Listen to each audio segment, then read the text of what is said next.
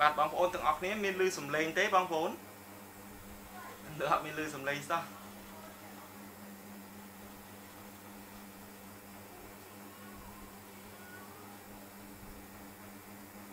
អត់លឺមែន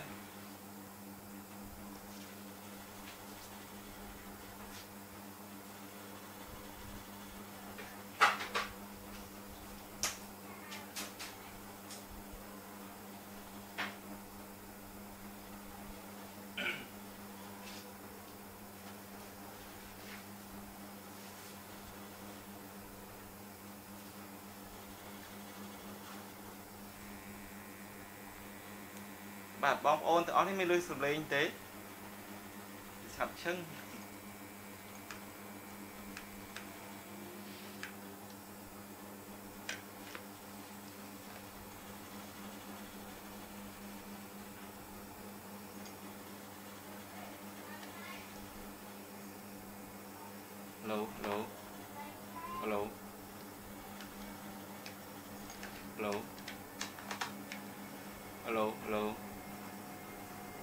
Hello, hello, hello.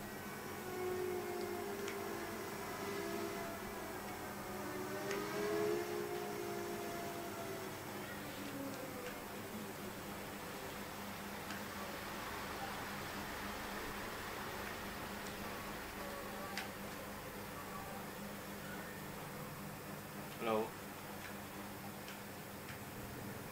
Hello, hello, hello, hello. alo. Sao chừng chứ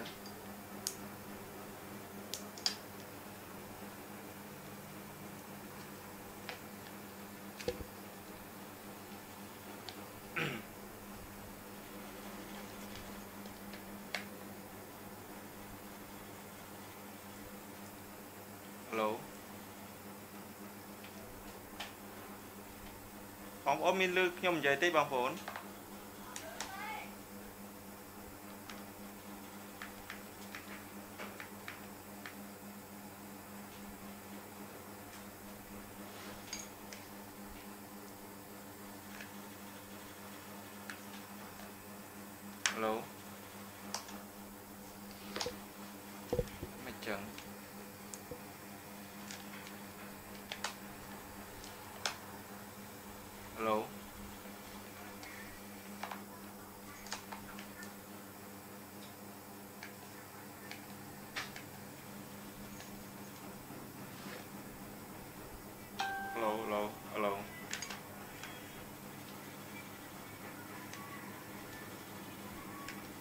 Hello, hello.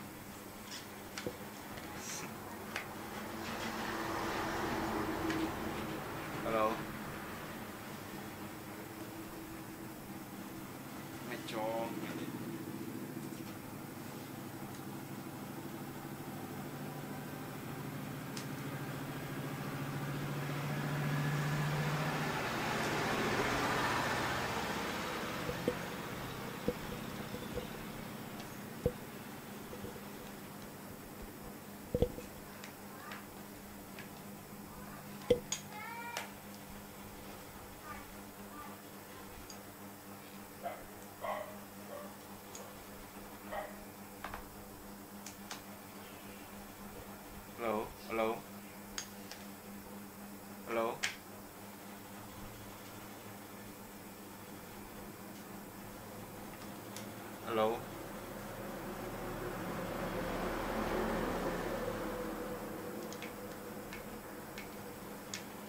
បាទសួស្តីបងប្អូនអរគ្នាមានលើខ្ញុំនិយាយទេបងប្អូនអរគ្នា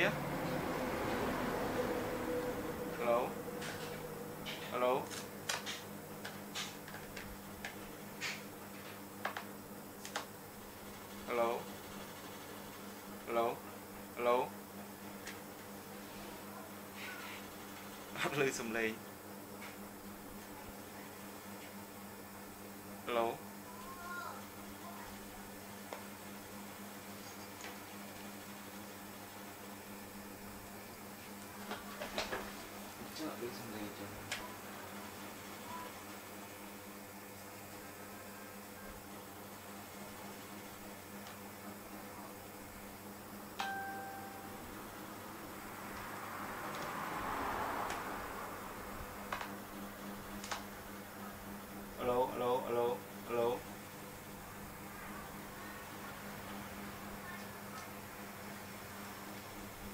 alo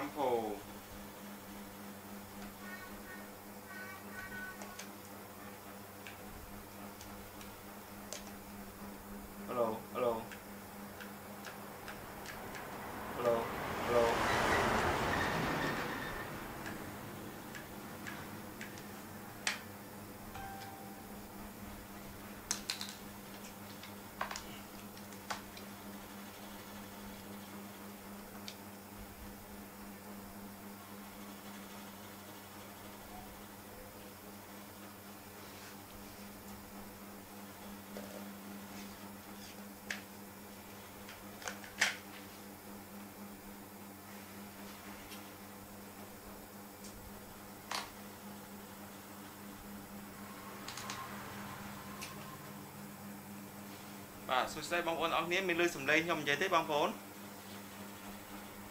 ថ្ងៃនេះបញ្ហា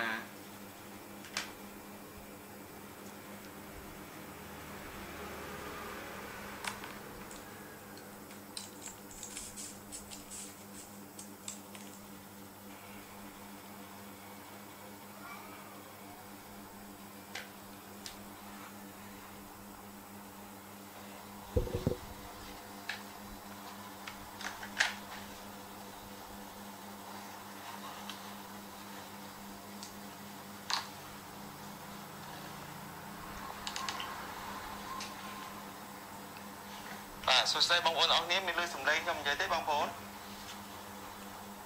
ថ្ងៃនេះបញ្ហា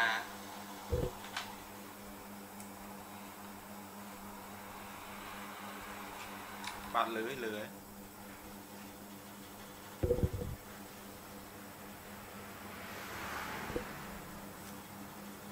បាទ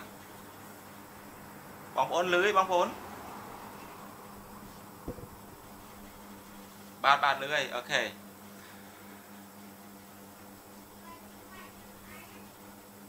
បាទអញ្ចឹងសូមជម្រាបសួរបងប្អូនម្ដងទៀតបាទអំបញ្ញមិញខ្ញុំនិយាយមិញអត់មានលឺសំឡេងបាទ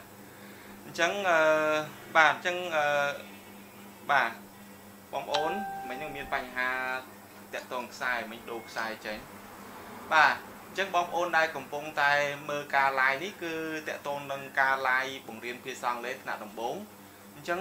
បងប្អូនអាចទស្សនាការ live វីដេអូរបស់ខ្ញុំរៀងរាល់ថ្ងៃគឺថ្ងៃច័ន្ទរហូតដល់ថ្ងៃសៅរ៍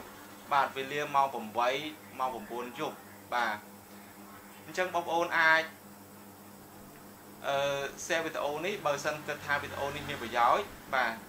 អញ្ចឹងខ្ញុំនឹងរៀបចំមេរៀនបង្រៀនជូនបងប្អូនឬក៏បងប្អូនដែលចង់ចេះភាសាអង់គ្លេសពីថ្នាក់ដំបូង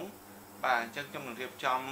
ឲ្យមានតាមលំដាប់លំដោយ ហើយខ្ញុំនឹងមានបន្ថែមនៅអ្វីដែលជាកលឹះក្នុងការរៀនភាសាអង់គ្លេសបាទអញ្ចឹងតោះដើម្បីកុំឲ្យខាតពេលវេលាអញ្ចឹងបងប្អូនទាំងអស់គ្នាចាប់ដើម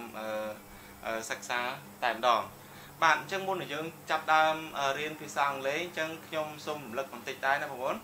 អញ្ចឹងបងប្អូនដឹងទេថាតើចំណុចអ្វីដែលធ្វើឲ្យបងប្អូននឹងអាចចេះអានពីភាសាអង់គ្លេសអញ្ចឹងចំពោះខ្ញុំខ្ញុំយល់ថា ការដែលធ្វើឲ្យខ្ញុំអាចរៀនភាសាអង់គ្លេសបានឬក៏រៀនភាសាអង់យល់នេះខ្ញុំឃើញថាមាន3 4 5ចំណុចបាទអញ្ចឹងចំណុចទី1ណាបងប្អូនអញ្ចឹងបងប្អូនស្ដាប់ឲ្យបានដើម្បីឲ្យរៀនភាសាអង់គ្លេសមួយបានបាទអញ្ចឹងអឺខ្ញុំគិតថាចំណុចទី1គឺយើងត្រូវស្គាល់នៅ English alphabets បាទត្រូវចេះ ទី1អាហ្នឹងសំខាន់ត្រូវដឹងថា capital letter small letter អីគេបាទហ្នឹងចំណុចទី1ចំណុចទី2នៅពេលដែលបងប្អូនចេះបកប្រែបាទចេះបកប្រែអឺពីពី A B C រហូតដល់ Z ហ្នឹងគឺបងប្អូនចេះអានពាក្យភាសាអង់គ្លេសហើយបាទអញ្ចឹងខ្ញុំធានាថាបងប្អូននឹងចេះអានពាក្យភាសាអង់គ្លេសបើសិនបងប្អូនមិនទាន់ចាំថា A ស្មើអី B ស្មើអី C ស្មើអីទេអញ្ចឹងបងប្អូននៅតែមិនទាន់អាច ចាប់នៅចំណុចជាកលឹះជាគ្រឹះរបស់វាបានទេអញ្ចឹងបើសិនបងប្អូនចង់ចេះភាសាអង់គ្លេសអញ្ចឹងបងប្អូនត្រូវតែទន្ទិញឲ្យចាំមាត់ឲ្យចាំមាត់ឲ្យយល់ពីអឺអក្សរនីមួយនីមួយហ្នឹងបាទយល់ល្មិចឧទាហរណ៍ថា A1 ណាបងប្អូនអញ្ចឹង A1 នេះវាមានសម្លេងវាច្រើនវាមានសម្លេង I សម្លេង A សម្លេងអសម្លេងអសម្លេងអសម្លេងអឺអញ្ចឹងសម្លេងវាច្រើនណាបងប្អូនចំពោះស្រៈភាសាអង់គ្លេសគឺមានសម្លេងចាប់ពី3 4ស្រៈ4សម្លេងឡើងទៅអានេះគឺចំពោះស្រៈចំណែកជញ្ជាអ្នកវិញជញ្ជាអ្នកវិញគឺបងប្អូនវាអត់សូវពិបាកចាំដោយស្រៈទេពីព្រោះអីពីព្រោះជញ្ជាអ្នកមានការចំណុចកត់សម្គាល់របស់វាខ្លះខ្លះហើយម្យ៉ាងគឺយើងដឹងថាជញ្ជាអ្នកដែលមានសម្លេង2ទៅ3ហ្នឹងវាមានតិចណាឧទាហរណ៍សម្លេង1 សម្លេង B ណាបងប្អូនអញ្ចឹងសម្លេង B នេះគឺសម្លេងបឬបឬបបាទអញ្ចឹងបងប្អូនគាត់ឃើញ B មកអញ្ចឹងបងប្អូនដឹងថាអក្សរហ្នឹងគឺអក្សរអីគេបាទអញ្ចឹងដឹងថាអានអាសូសូសម្លេងបណាបងប្អូនហើយបើសិនឃើញអក្សរ C អញ្ចឹងជាទូទៅយើងយើងកំណត់វាសម្លេង2គឺសម្លេងអក្សរអក្សរខនិងសម្លេងអក្សរអក្សរសឃើញបងអ ញ្ចឹងយើងយើងឃើញឃើញជនជាអ្នកខ្លះវាមាន2សម្លេងឬក៏3សម្លេងណាបងប្អូនវាទៅតាមវាទៅតាមការកំណត់នៃការអាននៅក្នុងពាក្យភាសាអង់គ្លេសដូចជា D អីចឹងបងប្អូនស្រួលស្គាល់ស្រួលចាំណា D ស្មើអក្សរដដអីចឹងទៅឃើញទេអញ្ចឹងបើឃើញអក្សរហ្នឹងអានដអីចឹងមកដូចជា E E ជាស្រៈដែរណាមានសម្លេង2 3ដែរ F អញ្ចឹង A គឺជា consonants បាទអញ្ចឹងវាប្រែថា f បាទប្រែថា f អញ្ចឹងឲ្យតែឃើញអក្សរអស់ហ្នឹងបងប្អូនឲ្យតែចេះបកប្រែវាបានអញ្ចឹងបងប្អូនអានបានហើយណាបងប្អូនអូខេយល់ទេអញ្ចឹងចំណុចទី1ស្គាល់ ABC ហ្នឹងទី2ឲ្យចេះបកប្រែបងប្អូននិយាយឲ្យម្ដងទៀតនិយាយឲ្យនិយាយទៀតថាធ្វើម៉េចឲ្យចាំអក្សរហ្នឹងអញ្ចឹងបងប្អូនធ្វើម៉េចក៏ដោយឲ្យតែឃើញមកដឹងថានេះពេលប្រកបចេញ f អីចឹងមកចេញដអីចឹងមក បាទចំណុចមួយទៀតនៅពេលដែលបងប្អូនចង់អានឲ្យបានត្រឹមត្រូវនោះបាទអានេះគាត់តែយើងយើងចង់ថាចំណុចទី1ទី2ហ្នឹងគឺបងប្អូនចេះអានហើយអានហ្នឹងយ៉ាងម៉េចចង់និយាយថាឧទាហរណ៍ចំឲ្យពាក្យមួយណាបងប្អូនបងប្អូនមើលឃើញបាទឧទាហរណ៍ចំឲ្យពាក្យអឺ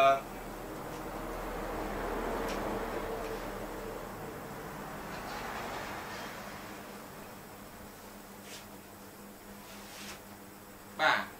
ដូចជាពាក្យមួយឧទាហរណ៍ថាខ្ញុំឲ្យពាក្យចេះចុះណាបងប្អូនអញ្ចឹងបងប្អូនឃើញអក្សរ S ហ្នឹងគឺអក្សរ F ណាហើយ A ហ្នឹងគឺជាស្រៈឯក N ហ្នឹងគឺអក្សរ No អញ្ចឹងបងប្អូនអាចប្រកបបានណាណាអញ្ចឹង F ដល់ស្រៈឯក Fa Fa No No Fan ឃើញបងប្អូនអានបានណាឥឡូវឧទាហរណ៍អក្សរ S ទៀតខ្ញុំដាក់អញ្ចេះវិញអញ្ចឹងបងប្អូនប្រកបមក F F E Fi Fi So fish ឃើញទេអញ្ចឹងបងប្អូនចេះអានទៀតអាដូចជាពាក្យអីមួយទៀតដូចជាពាក្យនេះណាអញ្ចឹង F ហោះអានេះ F គឺហយចង្វរកាលណាជុញដាក់បន្ទាប់ជាអីគេបងប្អូនជាជាជើងអញ្ចឹងណាជាជើងអញ្ចឹងយើងអានមក for ចង្រ for for ដាក់ស្រា frano France អូខេ France ឃើញទេអញ្ចឹងបងប្អូនអានបានតែម្ដងណាបងប្អូនអញ្ចឹង នៅពេលដែលបងប្អូនចេះ ABC ដល់អក្សរសិទ្ធហើយនឹងចេះបកប្រែវា ជាភាសាខ្មែររបស់យើងអញ្ចឹងបងប្អូនអានបានតែម្ដងអានបានតែម្ដងហ្នឹងគឺខ្ញុំមិនកំណត់ឲ្យបន្ទុកថាបងប្អូនត្រូវបន្ទុក10ឬក៏បន្ទុក100អីទៅទៅតាមបន្ទុកច្រើនបំផុតនោះទេអញ្ចឹងចង់និយាយថាអានបានហ្នឹងវាមានត្រូវមានខុសណាបងមានមានត្រូវមានខុស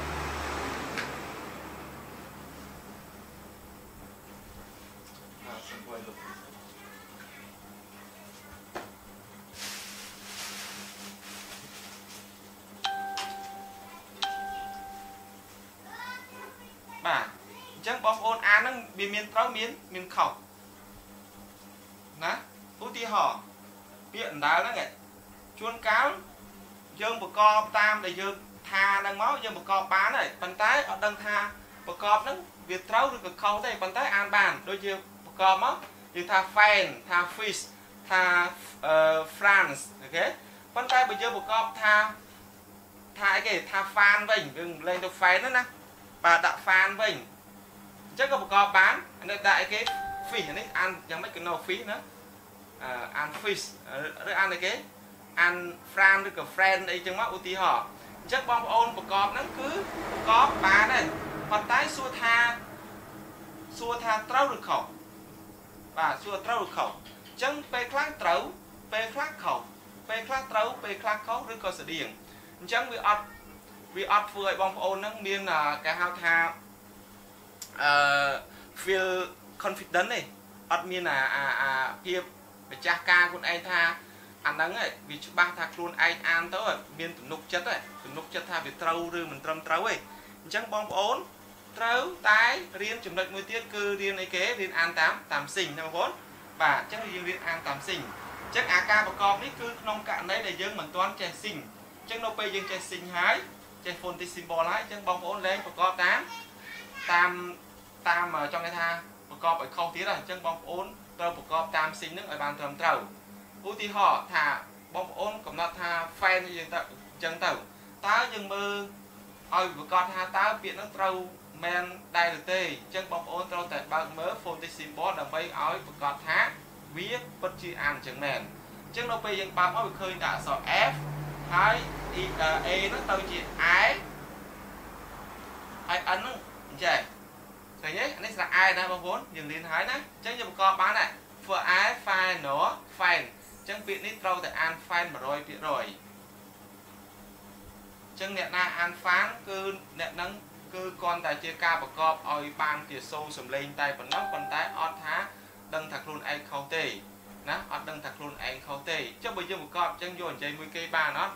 យើងនិយាយចាបានទេប៉ុន្តែបើសិនយើងស្ដាប់ទៅវាពិបាកស្ដាប់ចឹងបងប្អូនវាពិបាកស្ដាប់ណា អមថាយើងអានទៅវារៀងខុសខុសខ្លាំងក៏ពិបាកដែរអញ្ចឹងក៏ស្រៀងវាអាចស្ដាប់បានបើអានត្រូវត្រូវមកគឺវាងាយនឹងស្ដាប់បាទងាយស្ដាប់ណាបាទងាយស្រួលក្នុងការស្ដាប់ជាសាំងលេបាទពីព្រោះអីគេអានអញ្ចឹងគ្រប់គ្នាអ៊ំមកថា this is a fan អូខេ this is a fan អញ្ចឹងណាហើយបើយើងស្ដាប់គេនិយាយ this is a fan អញ្ចឹងវា fan ទៅ fan នោះវាស្រៀងស្រៀងគ្នាដែរវាអាចស្ដាប់បានដែរណាបងប្អូនប៉ុន្តែ បើសិនគេឲ្យបន្ទុកគេឲ្យ fan នេះ100%តែម្ដងបងប្អូនយល់ទេបាទអញ្ចឹង phone symbol យើងបានសិក្សារួចមកហើយណាបងប្អូនគឺយើងមាន vowels diphthongs ហើយនិង triphthong ណាអញ្ចឹងយើងមានទាំងអស់3ណាចែកជាស្រៈស្រៈភាសាអង់គ្លេសចែកជាសូវីមាន3ប្រភេទហើយចំណែកមួយទៀតគឺ consonant consonant វាចែកចេញជា3ដែរទី1គឺ consonant តូលតូលដូចជា ដូចជា S មក S អញ្ចឹងអាហ្នឹងអាហ្នឹងលក្ខណៈតូលតូលអញ្ចឹងណាអាមួយទៀតចែកទី2គឺផ្សំគ្នាពី2ដូចជា CH អីចឹងមកនៅក្នុង phonetics symbol វារូបរាងអីចេះមកអាហ្នឹងគឺជាការកត់សម្គាល់ឬក៏រូបមន្តតកតងទៅនឹងរូបរាងរបស់វានៅក្នុង phonetics symbol ទាំងទី2ណាសផ្សំគ្នាណាមួយទៀតផ្សំគ្នាដែរបងប្អូនប៉ុន្តែផ្សំហ្នឹងគឺវាលក្ខណៈអឺ phonetics symbol ធម្មតាទេ ការ simple simple ធម្មតាដូចជា ST អីចឹងណាបងប្អូនអញ្ចឹង ST កណាផ្ដើមនៅ ST អញ្ចឹងនៅក្នុង phonetics symbol គឺវានៅតែ ST ដដែលមានថាសជើងសជើងតណាសជើងតដូចជា P PR អញ្ចឹង PR នៅក្នុង phonetics symbol PR ដដែលអាហ្នឹងគេហៅថាអឺចឹងថា simple consonant មកថាជួយអ្នកធម្មតាណាគេនៅក្នុង phonetics symbol ណា simple phonetics symbol មកថា សំឡេងវាសូវាធម្មតាអូខេបងប្អូនយល់ទេបាទអញ្ចឹងបងប្អូនយល់ហើយណាចឹងចំណុចទី1ចេះ A B C ដល់ Z ចំណុចទី2បងប្អូនចេះបកប្រែចំណុចទី3បងប្អូនរៀនសេងចប់បាទចប់ហើយតែប៉ុណ្ណឹងអូខេបងប្អូនចេះអង់គ្លេសហើយដើម្បីចេះភាសាអង់គ្លេសធ្វើម៉េចបងប្អូនរៀនពាក្យឲ្យច្រើនទៅអូមកថាថ្ងៃខែទីឆ្នាំអីបងប្អូនចេះច្រើនទៅបងប្អូនចេះនិយាយបងប្អូនយល់ទេអញ្ចឹងចង់ចេះភាសាអង់គ្លេសបងប្អូនត្រូវត្រូវចេះអានហើយហើយបន្ទិញវាបន្ទិញវាពាក្យហ្នឹងយ៉ាងម៉េចអូមកថាពាក្យក្តារខៀននេះមួយអង់គ្លេសថាម៉េច white white សណា board white board okay អញ្ចឹង white board នេះគឺក្តារខៀនក្តារខៀនណាក្តារខៀនសហ្នឹង okay អញ្ចឹងយើងទិញវាចឹងមកដូចជា Word ចឹងណាអានថាម៉េច mark marker okay អញ្ចឹង marker បន្ទិញ marker អញ្ចឹងមក okay អញ្ចឹងយើងរៀនពាក្យបានច្រើនទៅទៅជាអង់គ្លេសហ្នឹងយើងចេះច្រើនណាយើងចេះច្រើនទៅយើងអាចឃើញ អត្ថបទឃើញអីយើងអាចបកប្រែបានណាបងប្អូនបាទអញ្ចឹងបងប្អូនយល់ទេបាទអញ្ចឹងបងប្អូនយល់ទេអញ្ចឹង3ចំណុចហ្នឹងគឺ okay ហើយចំណុចទី1បកប្រែអឺស្គាល់ព្យញ្ជនៈទី2បកប្រែបកប្រែគឺ phonetic symbol បាទ sing ហើយប៉ុណ្ណឹង okay នេះយើងចាប់ដើមចូលមករៀនយើងតែម្ដងអូខេអូខេ everyone ឥឡូវយើងមើលមួយថ្ងៃនេះគឺយើងរៀនធ្វើលំហាត់ រំលឹកបាទព្រោះអីសប្តាហ៍មុនយើងក៏បានធ្វើណាថ្ងៃនេះយើងធ្វើបាទ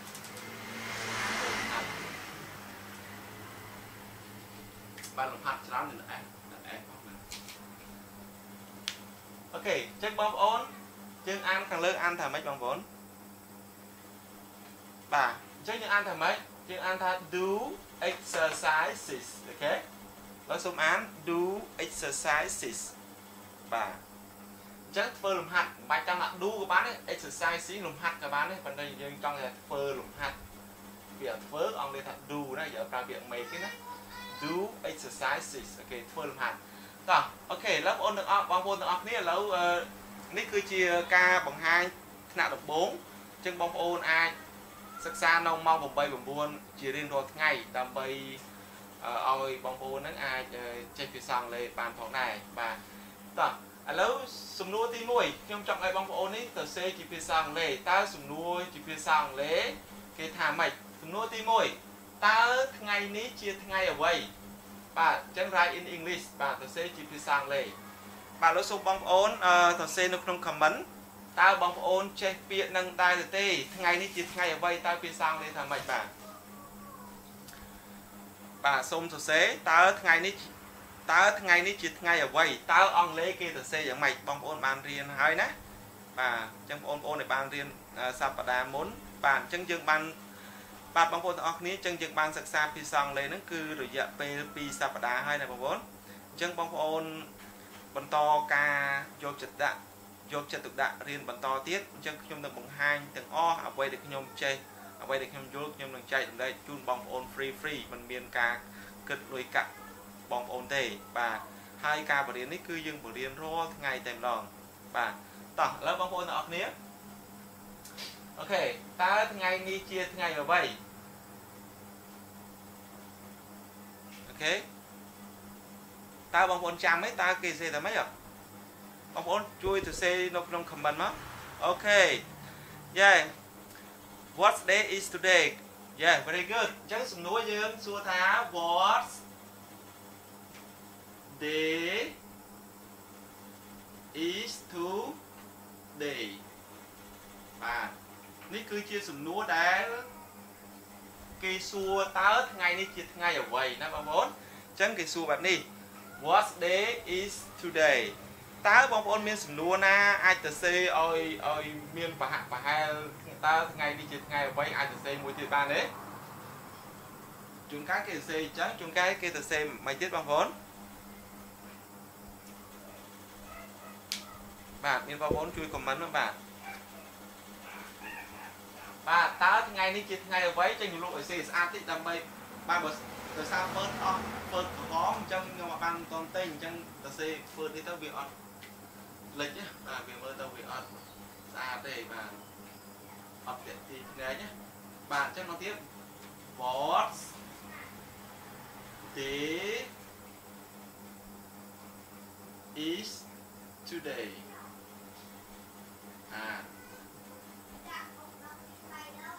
ឬក៏យើងសួរថាម៉េច what day is it today អញ្ចឹងយើងអាចប្រើថាម្យ៉ាងទៀតយើងអាចថា what day is is it today បាទអញ្ចឹងយើងនិយាយអញ្ចឹងក៏ក៏បានអូខេចាអញ្ចឹងយើងអាចប្រើអញ្ចឹងក៏ក៏បាន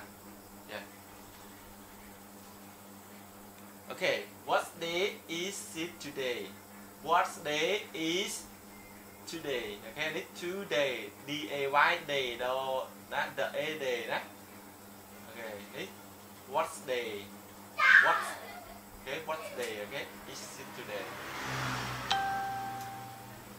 okay អបាទឥឡូវសំណួរទី2តើមានប៉ុន្មានថ្ងៃក្នុងមួយសប្តាហ៍បាទតើបងប្អូន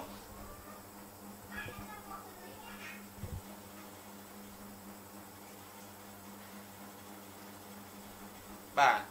នេះសំណួរទី 2 okay can you write in english អូខេតើបងប្អូនអាចសរសេរជាភាសាអង់គ្លេសបានទេ okay can you write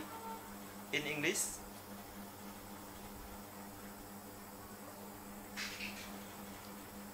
okay តើមានប៉ុន្មានថ្ងៃក្នុងមួយសប្តាហ៍ okay បាទសរសេរជាភាសាអង់គ្លេសតើយើងសរសេរមិនបងប្អូនយើងសរសេរមិនបាទ បាទអញ្ចឹងយើងសំណួរយើងត្រូវសរសេរថាម៉េចអត់ប៉ុន្មានថាម៉េចអត់ប៉ុន្មានថ្ងៃថាម៉េច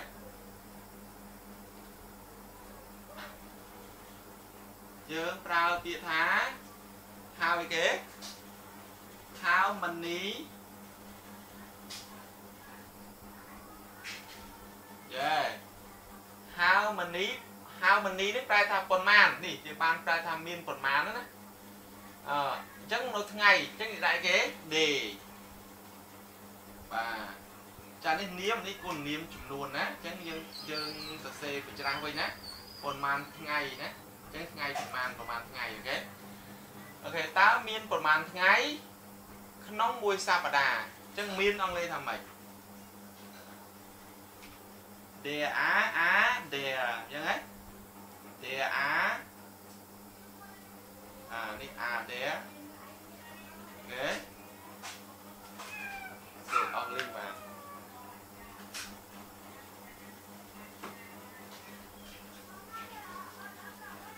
អូខេឥឡូវសូមលុបតិចសិនបាទ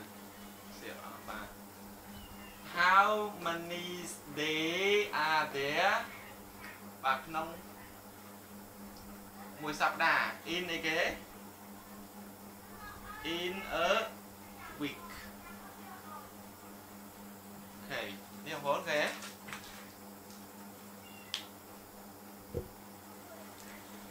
Yes សុកលៀងបាទ very good how many day ខុសហើយ is the week បាទផ្លេចផ្លេចមួយផ្លេច are there មួយបាទប្រើសំណួរសំណួរសួរមានណាបាទ are there in a week បាទលោកសូមអាន how many day are there in a week បាទសូមអានទៀត how many បាទ how many day are there in a week អូខេខាងលើ what អូខេ what what day is it today ឬក៏ is it today ណាបាទសំណួរទី3ចូលសរសេរទម្រង់កាត់ថ្ងៃទាំងនោះ បាទលោកបងប្អូនថ្ងៃ